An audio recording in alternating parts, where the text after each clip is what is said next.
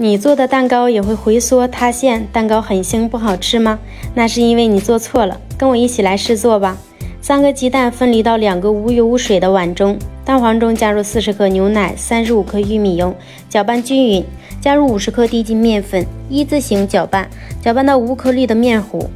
蛋清搅拌，搅拌到有大泡，加入二十克白糖，继续搅打，有轻微纹路，再加入二十克白糖，继续搅打。